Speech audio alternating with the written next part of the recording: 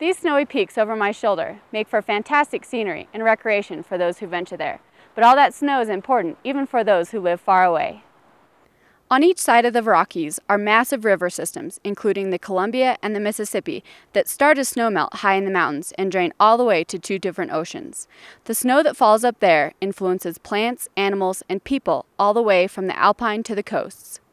Snow that falls at these high elevations in wintertime remains there until warm summer temperatures finally reach the high country and runoff begins.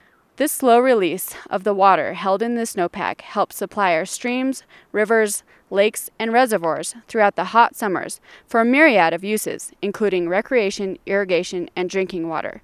You can think of the snowpack as a water savings account where deposits are made in the winter and withdrawals in the summer. From the mountains down to the plains and finally onto the ocean, snowpack affects all of us. From the University of Wyoming Cooperative Extension Service, I'm Mae Smith, exploring the nature of Wyoming.